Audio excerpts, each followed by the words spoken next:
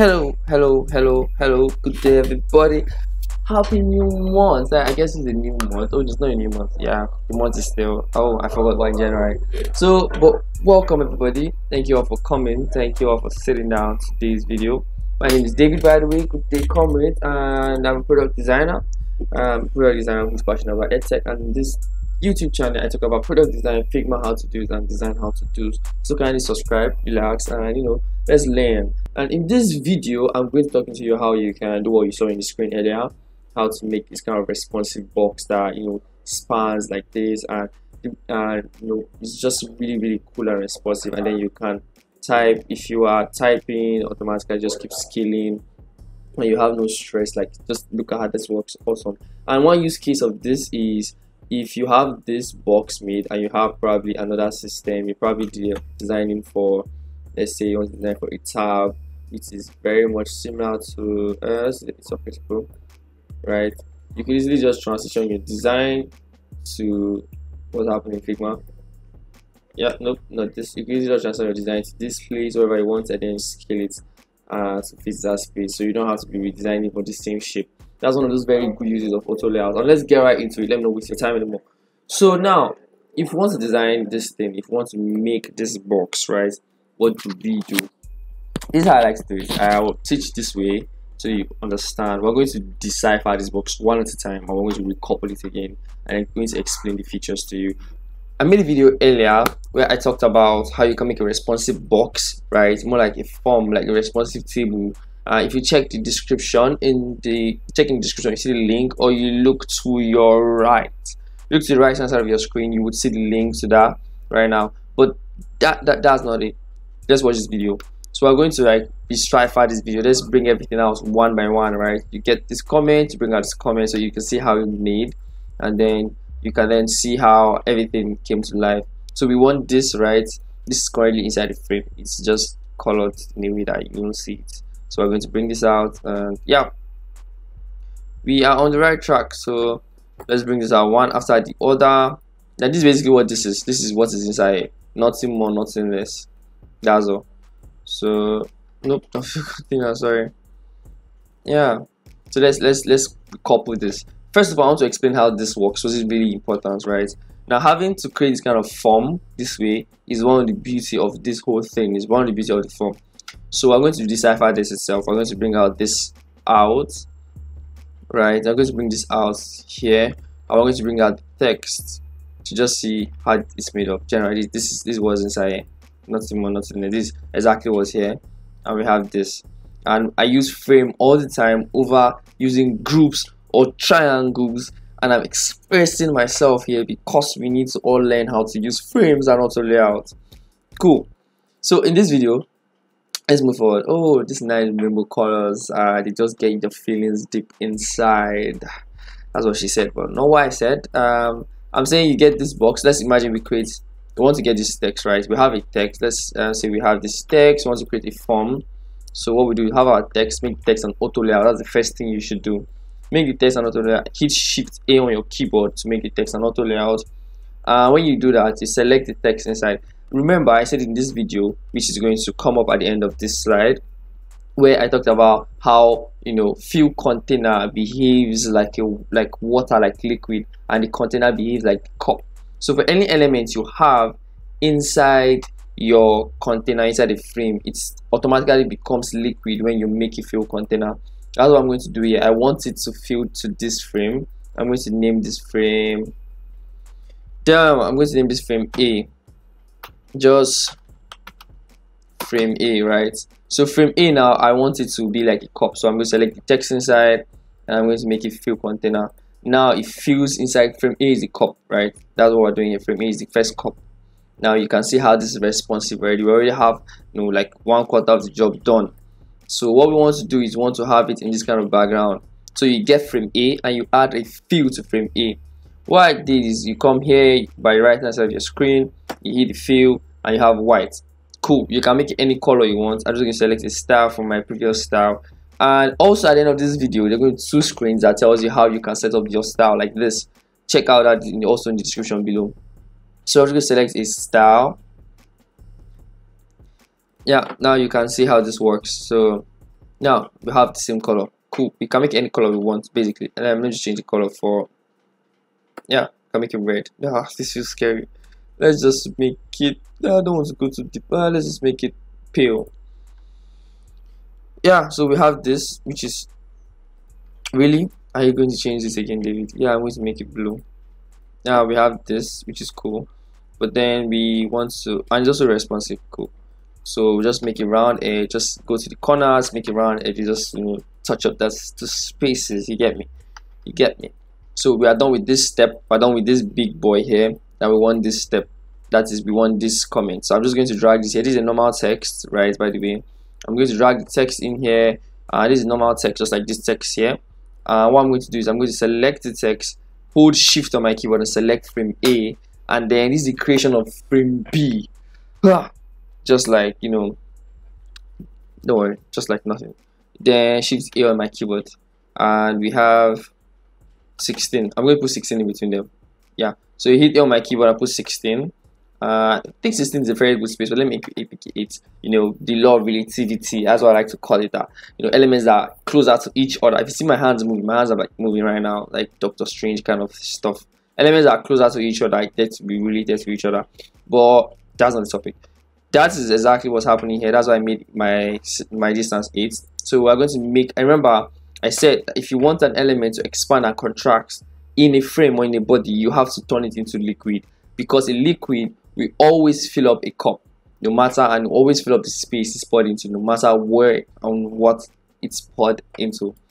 So i'm going to make this box this blue box i'm going to come to the right hand side of my screen resizing and i'm going to make a fill container. Cool. I'm also going to make content fill container. Cool. Then this is my frame. I'm going to make this frame b. This is the making of frame b. B. You guys are the making of frame b. You guys are heroes so we're going to just increase this this way. Now you see it works like the way we want it to work. It works basically exactly like this guy right here. And that's what we're looking for. That's all. So have, after having this we want to now complete the cycle have this have this also. So we have this. I'm going to bring it here. We have this. I'm going to keep it here. I'm going to explain this last. So then we want to make this. This is one of those tricky ones that you just catch your eye so what I do here is you make a frame basically that's all. You just make a frame and then leave the frame the way it is. When you make the frame be careful of this thing clip content right? I'm going to show you an example right now. So you make a frame you get this I'm holding alt and dragging with my keyboard to be able to duplicate this the way I am doing. So you can do the same thing but what you should take note of leave your mouse first before you leave your keyboard so you don't get errors. Warning you can try it for yourself sir. I'm just warning you so when you have your frame, you want to unclip content so that it allows the content outside that frame to show. When you clip content, you are clipping the content. Anything outside the frame would not show. You want to unclip content. So when you have a frame, you unclip the contents right this way. So you have this this way. So I'm just going to align this to the edge of this frame, making sure it's inside. And once you start seeing four here like this, right, that means it's not inside the frame. Once inside the frame, you won't see that number. So I'm just going to take this here slowly slowly and then use my keyboard to move it for more accuracy. Nice. I like I think I like where it is. Having this this way I think we're basically done with the trick. So before we move on I'm going to select everything here. We have our image. We want it to be we have our comments here. I'm going to select all of them and I'm going to make frame C. When I select all of them I just normal select drag everything together and hit shift A on my keyboard. Backham that's all then shift a you've made um, an layout. And i'm going to edit this to c frame c basically. And we're good to go. So now we want this to expand and contrast right? So we're going to make this fill container. Cool. And this is inside this frame. So anything you do to the frame to this white frame automatically works here because it's inside. It's just not clip content. So it's you get the point so now this is fill container that's where we want to be. But then we don't want it to have this skinny. We don't want it to be like this right? But before we do that let's add paddings to this. Let's bring it to life. So we're going to come to the right hand side of your screen.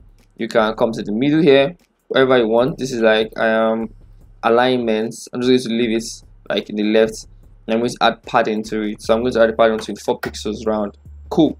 But then for this to lap just like the way this is lapping up here we have to remove the top padding of the frame C. So we go to frame C and we do make it zero. So it goes up automatically but every other padding everywhere remains the same. After doing that we add a fill to it so it comes out well. Cool. Now you can't see frame C anymore. All you can see is this nice guy hanging in the corner. So what we're going to do is to make this organized well to make our spacing proper we're going to crop frame C. But before we do that I'm going to change the color so you can see what I'm doing. This frame C and I'm just going to reduce the height. So go to the right hand side of the panel here for more specificity. I'm going to change the height to zero. Wow and frame C is gone. I can also make frame C transparent. Frame C is still there. It's still uh, very much there but it's B like not frame C rather. The frame with the close button is still there but it's invisible right now. Like literally invisible. But you see what's happening here? This is not what we want right? But frame C works and like it works so after having this we're going to on our colors back for it and have it look this way. Awesome. Remember we wanted to have a very good spacing so i'm going to use 40 pixels for it which is relative to each other. I like 40 pixels for separating things really well. And then what we want to do is want to make this a contrast and expand. I remember i said if you want to make something contrast and contrast and english contrast and expand in a frame in a container you have to turn it to liquid. By turning to liquid you make a fill container so going to liquid make a fill container. This box also make a fill container. And we're good to go. So we're basically going to try this out now. Whoa, this is where we want to be. This is where I want to be baby. So now this is cool. This is so nice. So what else is missing from this is the padding. You may want to have like a stroke around this right? You add a stroke you have this stroke around it. Uh, we could make the stroke blue just to tell, give the user feedback that you're hovering on it yeah? Or is active at this point. It's just good for accessibility you know. Yeah so this is basically what we're going to do and this is how we're going to do it. We're basically done with this. We have our very nice awesome you know responsive box here. Cool. Cool cool cool cool cool. Let's drag this here back here and you can see no no no that uh, but you can just see the same thing. Another use case of this transferring your designs to another screen to another frame you can transfer this to a to a tablet now. All you need to do is just reduce this hue and then to the accurate space the width. If you want this to be 200 you want this 200 you want this to be 480 wow and you're done. No need to start recreating. Use auto layouts use frames uh you know always turn things to fill container if you want to fill the container. Thank you all for sitting for this video. Thank you all for coming to my rainbow show. It's good to have you here once again, my name is David. I'm a product. That that was boring, but you know, you know the drill. My name is David, and you know, on this channel, about product design, Figma, and like Figma how to do it. So, like, subscribe, share, and don't these videos that I talked about earlier. in the description. They're also on your screen right now. You know, you check them out. See you next week. Bye. Yeah, bye. Bye. Bye. Yeah. So if you are still here right now, you're my fan, you're my OG. Yeah. I recently just finished test in school right now, so it's really stressful. College is stressful. Bye. Going to sleep.